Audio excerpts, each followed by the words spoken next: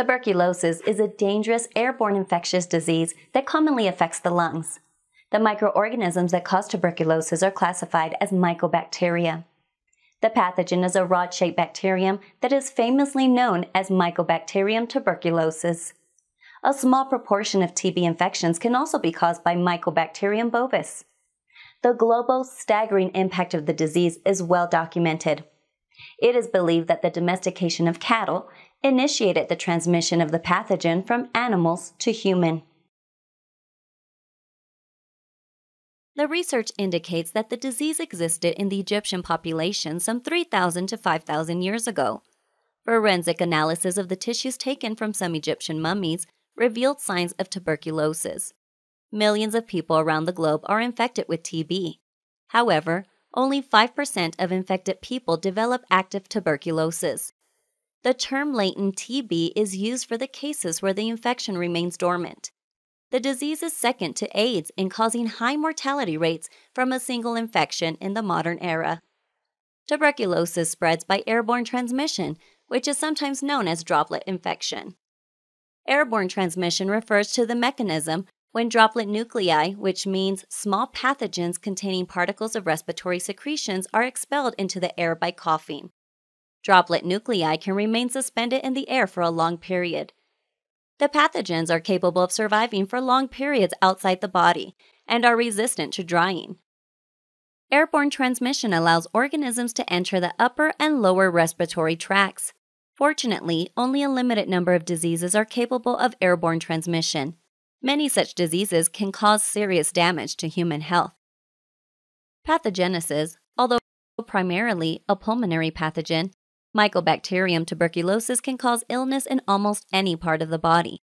Only pulmonary tuberculosis is contagious. The pathogen is an aerobic acid fast bacillus. Aerobic organisms can only survive in the presence of oxygen, so the lungs provide an ideal environment for Mycobacterium tuberculosis to grow. The wall of the bacterium contains high level of lipids.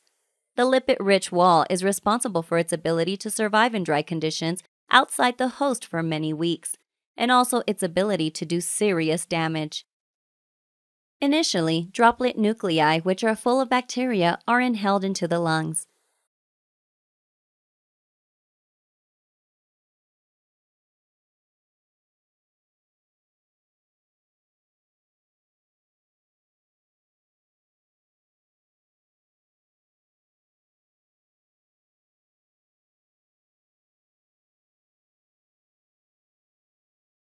The organism is then taken up by alveolar macrophages.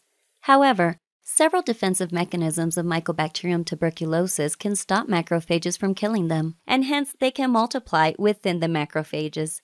The presence of bacteria within the macrophages can initiate an inflammatory response. As a result, many other white blood cells are recruited to the area of infection, which surround the infected macrophages, forming a cluster of cells known as granuloma. The macrophages in the center of such clusters are then killed and transformed to epithelioid histiocytes. The lipids in the bacteria create a cheese like material in the center of the granulomas, which is the typical characteristic of the disease. Granulomas can often become calcified and become visible on chest x rays. However, the bacteria within these granulomas can survive and may remain dormant for years. The person is said to have latent TB. In people with weak immune systems, the bacteria can escape the granulomas and become reactivated even after decades. Active TB can cause severe destruction of the lung parenchyma and initiates a cascade of immune response which results in lung scarring, fibrosis, bronchiectasis, consolidations, weight loss, and all the associated symptoms.